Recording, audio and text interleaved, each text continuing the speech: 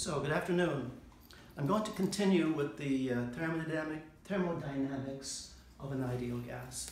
Not sure quite which way it's going. There are so many different strands and I'm trying to keep the mathematics to a minimum. Okay, so we'll certainly look at some types of uh, thermodynamic processes involving an ideal gas and we may get to specific heats. There'll be a lot of review and whatnot. So, so far what we have is this.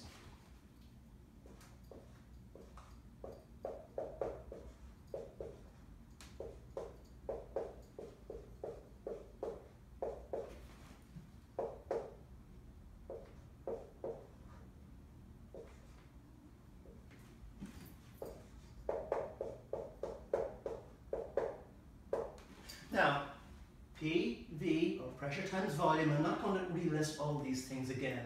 I'll just say what K is maybe. K is R over NA, it's Boltzmann's constant.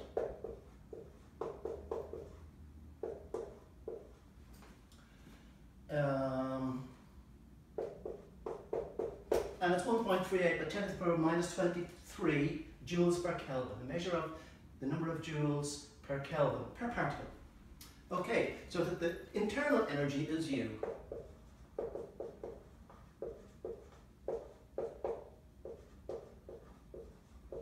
U.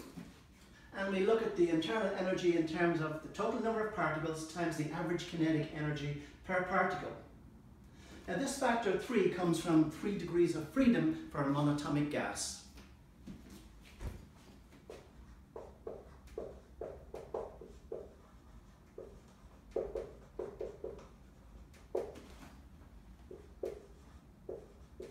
Now that 3 will become a 5 for a diatomic gas because in a diatomic case you have two extra degrees of freedom.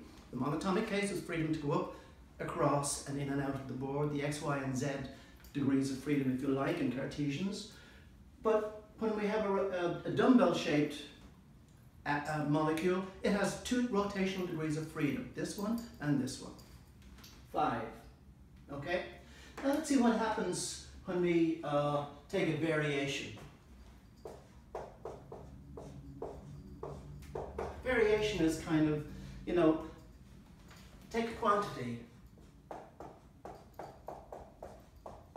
and vary it such that we have a delta x very close to the original, right? But just vary it a little bit. This thing is called a variation. There is a thing called the calculus of variations, and it's a subject about which I will speak sometime. So if we take a, vari uh, a variation of a product, it obeys the same kind of rule as if we were taking a derivative.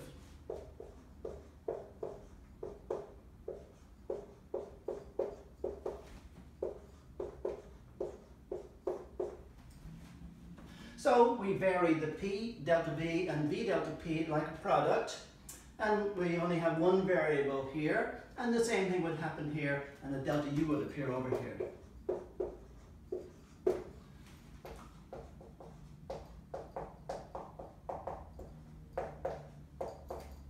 And we derived an expression for the average kinetic energy per molecule, which is 3 over 2 kT. Now delta U is what we should have here. Now what happens when various different kinds of processes occur? We can set delta V equals 0, delta P equals 0, or delta T equals 0, and talk about different thermodynamic processes. But first, we will state the first law of thermodynamics.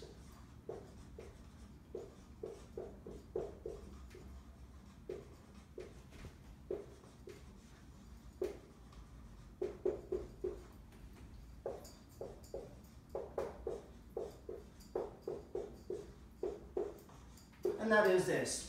That if we want to change the internal energy of a gas, ideal or otherwise, we can do it two ways. We can add heat to it, or we can do mechanical work on it. We could compress it. When you compress a spring, you put energy into it. Yeah, when you compress a gas, you decrease its volume. That will in involve putting in a minus sign in our definition of work about which we'll speak later. So,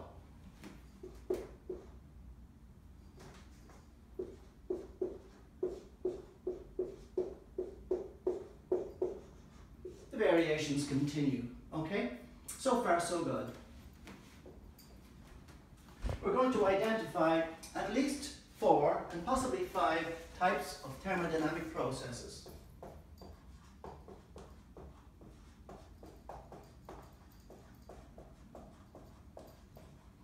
And each process is arrived very simply to keep your thoughts clear because it looks like it's a lot of little equations. The first one,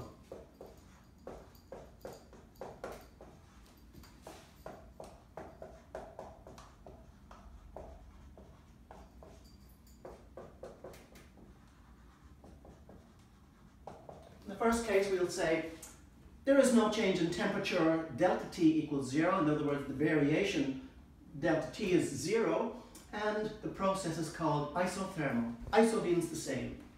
Isobar, isopressure. Um, on a map, contours. Let's see, what's the word for height? Not sure, but iso something, iso, whatever.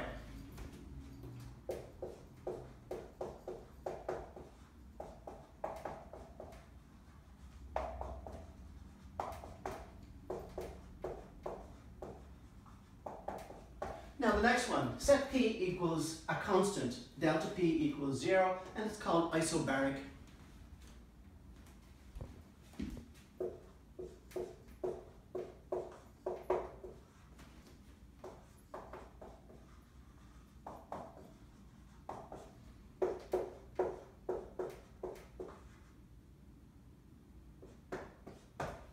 Set volume to be a constant, V equals constant, delta V equals zero, we call the process isochoric. What else can we set to zero? Well, let's look through these things. How about delta Q? Yeah, we can do that.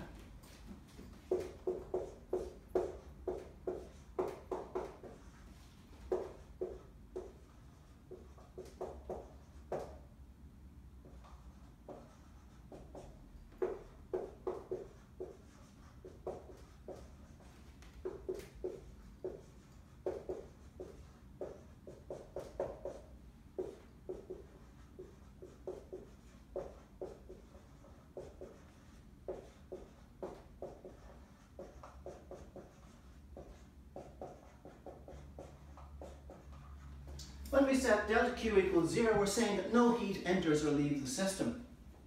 It's said to be adiabatic. What does that mean? Okay, when you open a can of soda and suddenly, boom, you see all the vapor coming out. That happened really quickly. That's an, ice, that's an adiabatic process. When an engine fires, the piston is at top dead center, and the engine goes down really quickly, but no heat gets out of the system. Work gets done.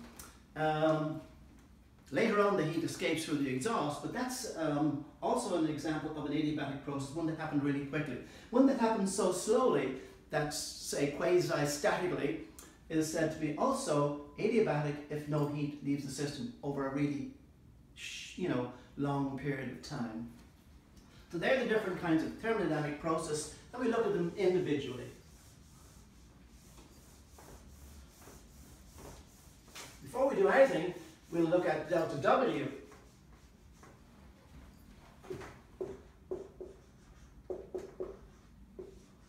I'm not sure what delta W equals zero will turn out to be, but it's possible that there is such a thing. But, you know, I'm finding my way through this slowly. We'll see where we end up. So let's look at work done on a gas.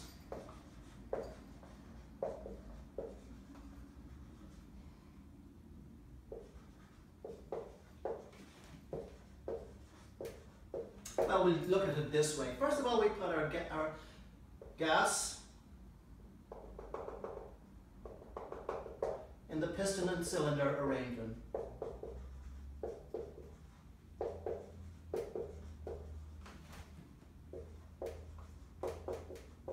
So we have a piston cylinder, cylinder system.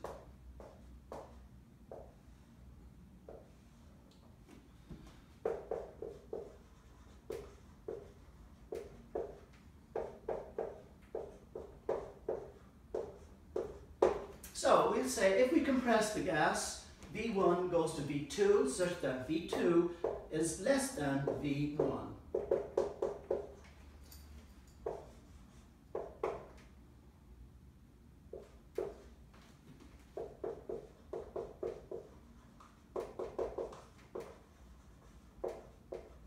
We begin by compressing at constant pressure.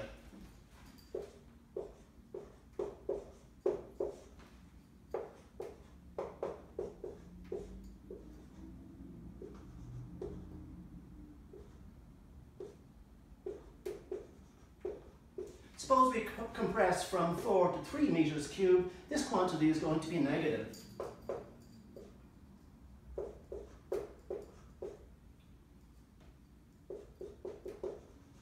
And of course the units are Newton meters. However, when we compress a gas, okay, we put work into it.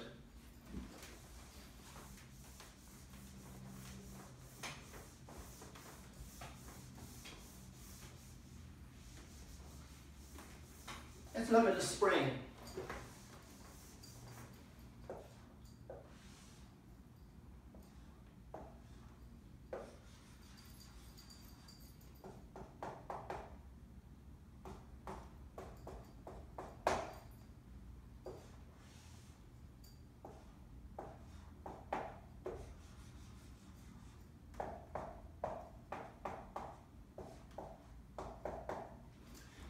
When a spring whose constant is K, we compress it, we lose work, and this guy gains work, okay? So that the work done compressing a spring results in this guy gets joules. Now the spring might store those 10 joules in such time as they're retrieved. This is the exact same situation. I compress the gas to change its volume, to get a lesser volume, so therefore then I must define this in such a way that our work is positive.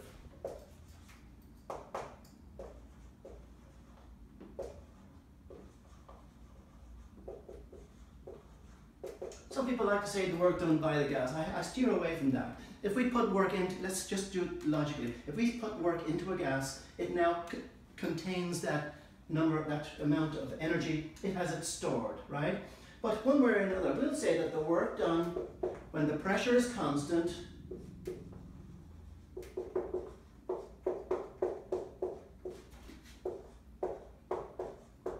and we change from volume V1 to V2, picks up a minus sign.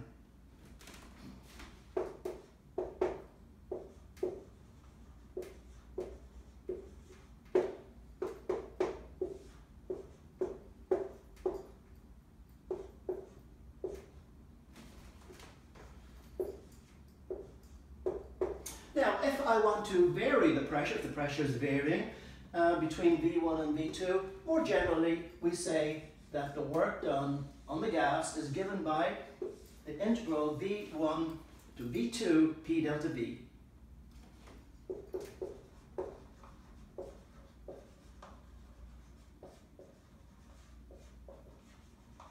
I'm saying work done by gas, but I, textbooks love to play around with that. When you actually get to do a calculation and solve the problem, it's much easier to track these signs. Let's look now at a, an, uh, the different kinds of processes. I'm going to begin with the isothermal process. And that'll do us for today. I'll come back to the others later.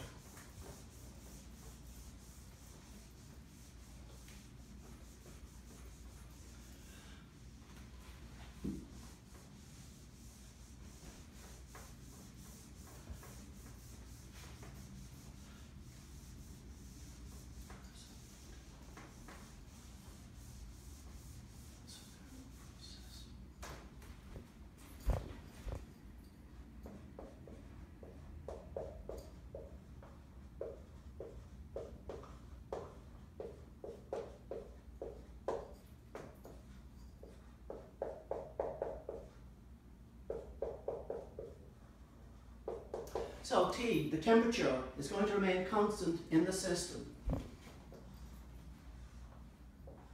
Now the volume could change, but one way or another,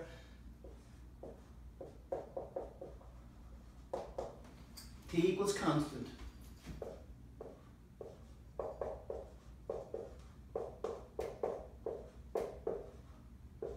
I'll just hang on to those three equations for now, okay?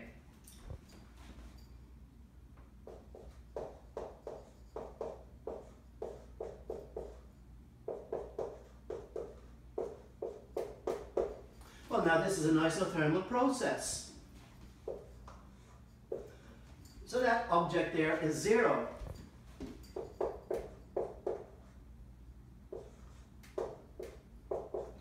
So therefore then there's no change in internal energy either, okay, as far as I can see. Looks like it. But these two objects are non-zero. And what about the work done on the, by the gas?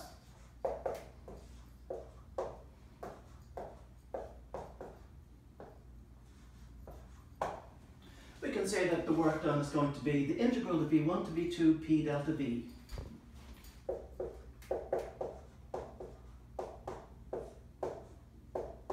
Well, using the ideal gas law, this one here, I can just say that P is nR delta T, and these two guys are constant.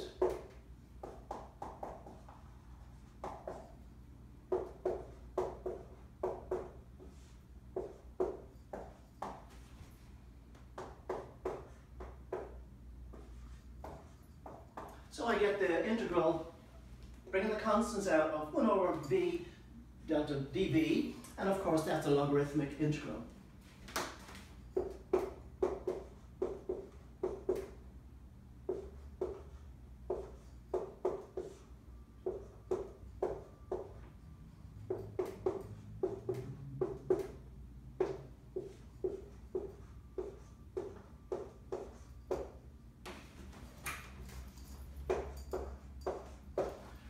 which is nRT with the negative sign log V2 minus V1. So I just swap the two terms by removing the bracket or bringing this sign in here.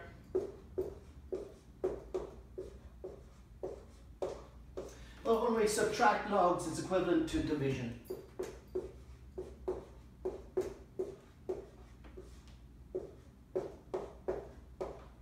So I have the useful result.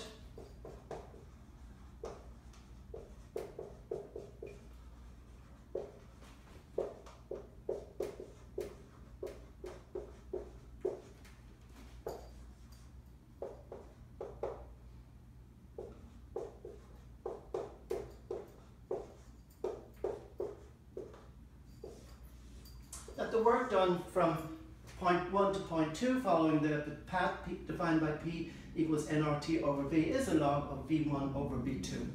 Now that's the isothermal process and we'll do some examples with that. Next ones coming up are going to be, well let's just look at them.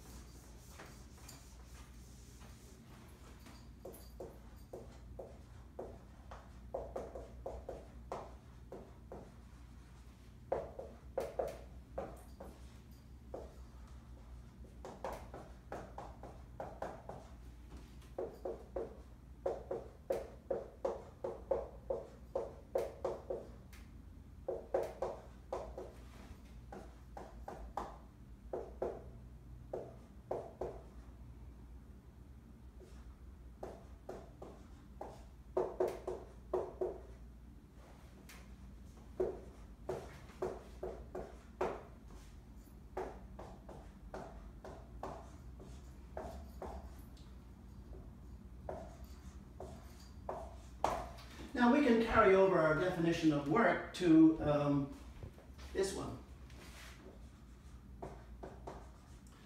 dw with a negative sign because we said that we needed that sign before, okay? So let's see what we can have. Okay, so the delta p equals zero, that term is gone. This is a constant. Uh, there's the constant there again. So all I've got is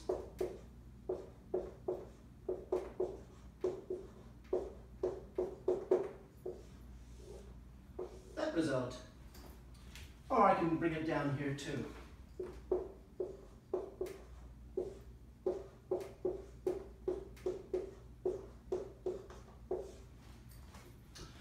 Uh, what else could I do with this that's useful? Well, I have a delta p over there, I'll but I'll leave that now because this is coming up to the um, specific heats of gases.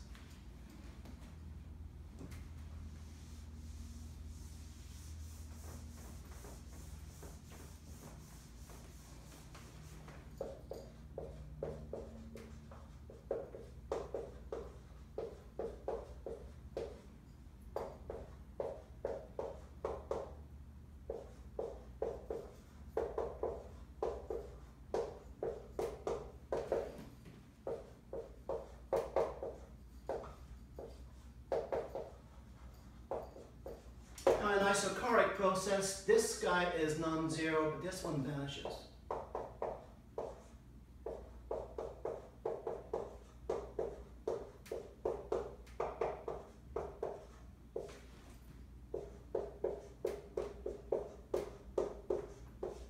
So we have a slightly different equation, nothing special by the way.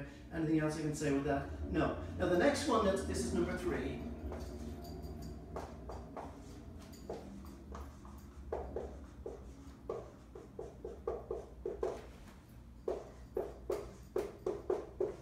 In the adiabatic process, this term here vanishes.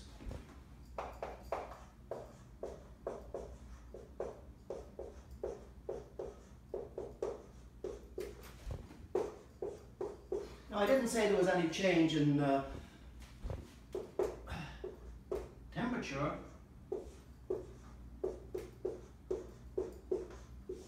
But the delta Q part is zero, okay? We'll look at these processes with more examples later. That'll do for this session of 26 minutes.